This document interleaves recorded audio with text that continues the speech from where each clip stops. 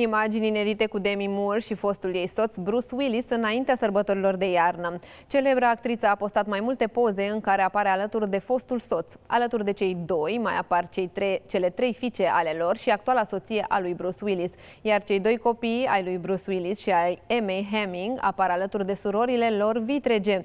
Citez, suntem o familie, a scris actrița în descrierea fotografiilor postate pe Instagram. Aceasta este prima reuniune de familie după ce Bruce Willis, în vârstă de 67 de ani, a fost diagnosticat cu afazie și a anunțat că se va retrage din cariera sa de actor în luna martie.